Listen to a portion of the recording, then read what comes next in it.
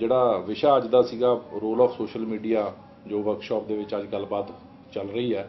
ਇਹ ਇੱਕ ਬਹੁਤ ਵਧੀਆ ਉਪਰਾਲਾ ਜਿਹਦੇ ਵਿੱਚ ਜਿੰਨੇ ਵੀ ਜ਼ਿਮੀਂਦਾਰ ਭਰਾ ਇਸ ਸ਼ਿਰਕਤ ਕਰ ਰਹੇ ਨੇ ਗੁਰਦਾਸਪੁਰ ਦੇ, ਉਹਨਾਂ ਨੂੰ ਇਹ ਸਿੱਖਣ ਦਾ ਮੌਕਾ ਮਿਲਿਆ ਕਿ ਖੁਦ ਤੁਸੀਂ ਆਪਣਾ ਮੰਡੀਕਰਨ ਕਿਵੇਂ ਕਰ ਸਕਦੇ ਹੋ। ਮੈਂ ਇੱਥੇ ਆਪਣੇ ਜ਼ਿਮੀਂਦਾਰ ਭਰਾਵਾਂ ਨੂੰ ਦੱਸਣਾ ਚਾਹੂੰਗਾ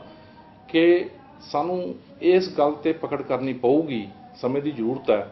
ਕਿ ਅਸੀਂ ਖੁਦ ਆਪਣੀਆਂ ਵਸਤੂਆਂ ਆਪ ਤਿਆਰ ਕਰਕੇ ਜਿੰਸ ਪੈਦਾ ਕਰਕੇ ਉਸ ਤੋਂ ਵਸਤੂਆਂ ਤਿਆਰ ਕਰਕੇ ਖਪਤਕਾਰ ਦੀ ਝੋਲੀ 'ਚ ਪਾਈਏ, ਕਿਉਂਕਿ ਇਹੀ ਇੱਕ ਹੀਲਾ ਵਸੀਲਾ ਹੈ ਜਿਹਦੇ ਨਾਲ ਅਸੀਂ ਡਾਈਵਰਸਿਫਿਕੇਸ਼ਨ ਤੇ ਪਹਿਰਾ ਦੇ ਸਕਦੇ ਹਾਂ ਕ੍ਰੌਪ ਡਾਈਵਰਸਿਫਿਕੇਸ਼ਨ ਤੇ ਪਹਿਰਾ ਦੇ ਸਕਦੇ ਹਾਂ, ਕਿਉਂਕਿ ਇਹ ਦੇਖਣ 'ਚ ਆਇਆ ਕਿ ਦੁਨੀਆ ਦੀ ਮੰਡੀ ਦੇ ਵਿੱਚ ਜਿੱਥੇ ਵੀ ਤਰੱਕੀ ਹੋਈ ਹੈ, ਖੇਤੀਬਾੜੀ ਨੂੰ ਖੇਤੀ ਵਪਾਰ ਦਾ ਦਰਜਾ ਦਿੱਤਾ ਗਿਆ, ਉਹਨਾਂ ਨੇ ਦੋ ਚੀਜ਼ਾਂ ਤੇ ਪਹਿਰਾ ਦਿੱਤਾ, ਇੱਕ ਤਾਂ ਉਹਨਾਂ ਨੇ ਮੰਡੀ ਤੇ ਗ੍ਰਿਫਤ, ਮੰਡੀ ਤੇ ਉਹ ਖੁਦ ਆਪ ਕਾਬਜ ਹੋਏ ਨੇ ਤੇ ਦੂਜਾ ਉਹ ਵਸਤੂਆਂ ਤੇ ਵੀ ਖੁਦ ਆਪ ਕਾਬਜ ਹੋਏ ਨੇ।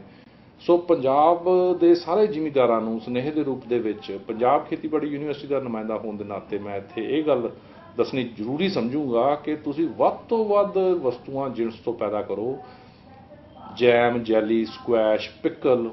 ਮੂੰਗਫਲੀ ਪੈਦਾ ਕਰ ਰਹੇ ਜ਼ਿਮੀਂਦਾਰ ਜਿਹੜੇ ਆ ਉਹ ਮੂੰਗਫਲੀ ਦੀਆਂ ਗਿਰੀਆਂ ਕੱਢ ਕੇ ਪੈਕਿੰਗ ਖੁਦ ਆਪ ਕਰਕੇ ਖਪਤਕਾਰ ਦੀ ਝੋਲੀ 'ਚ ਪਾਉਣ। ਹਲਦੀ ਪੈਦਾ ਕਰ ਰਹੇ ਜਿਹੜੇ ਜ਼ਿਮੀਂਦਾਰ, ਉਹ ਖੁਦ ਆਪ ਉਹਦਾ ਪਾਊਡਰ ਬਣਾ ਕੇ ਲਿਫਾਫਾ ਬੰਦੀ ਕਰਕੇ ਡੱਬਾ ਬੰਦੀ ਕਰਕੇ, ਖਪਤਕਾਰ ਦੀ ਝੋਲੀ 'ਚ ਪਾਉਣ। ਸ਼ਹਿਦ ਪੈਦਾ ਕਰ ਰਹੇ ਜ਼ਿਮੀਂਦਾਰ ਵੀ ਇਸ ਚੀਜ਼ ਦੇ, ਇਸ ਇਸ ਸੋਚ ਤੇ ਪਹਿਰਾ ਦੇਣ। ਤਾਂ ਕੋਈ ਦੋ ਰਾਏ ਨਹੀਂ ਹੈ ਕਿ ਅਸੀਂ ਖੇਤੀਬਾੜੀ ਨੂੰ ਬਹੁਤ ਪ੍ਰਫੁੱਲਤ ਕਰ ਸਕਦੇ ਹਾਂ ਪੰਜਾਬ ਦੇ ਵਿੱਚ ਤੇ ਖੇਤੀਬਾੜੀ ਨੂੰ ਖੇਤੀ ਵਪਾਰ ਦਾ ਦਰਜਾ ਦੇ ਸਕਦੇ ਹਾਂ।